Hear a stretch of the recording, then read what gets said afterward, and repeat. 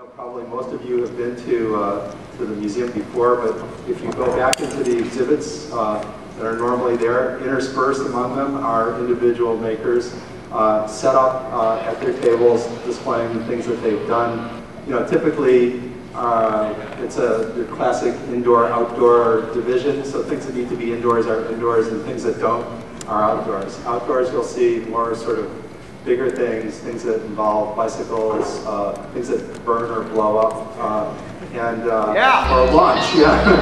and uh, uh, as, uh, as as you go around, uh, don't hesitate to walk up to the makers and uh, introduce yourselves, ask questions.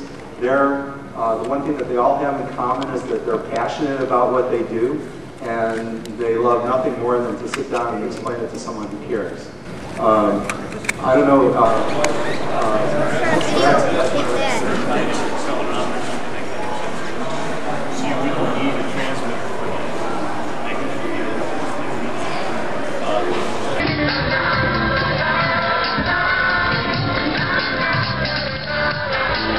right here to right by this gate, and you can come on in and you can fill in this area in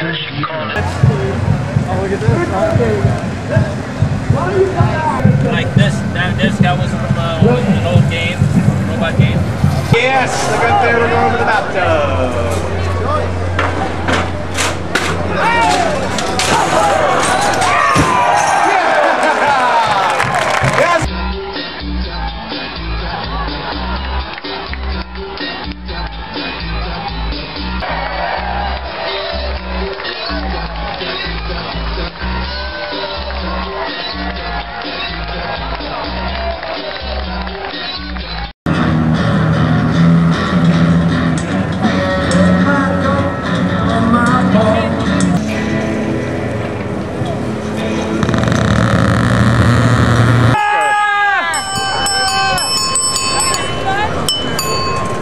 Hi, Mr. Ford.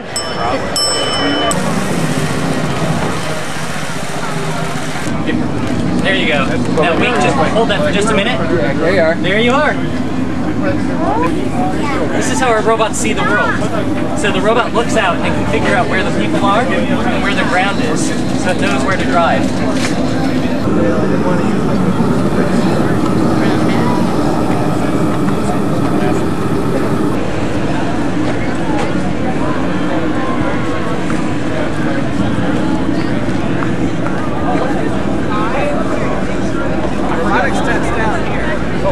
Down at the end. I'll follow you.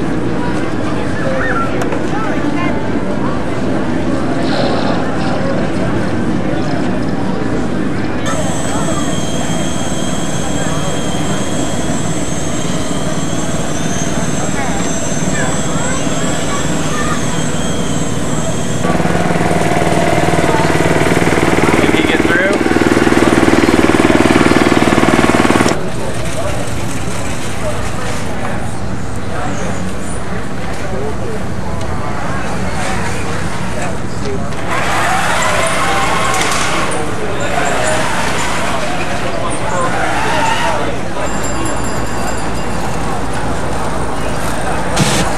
Cross there in front of your house and take them apart and learn how they work. We can come back. Come on. Or come over to the All Hands Active Castle where we are building a castle out of cardboard. All Hands Active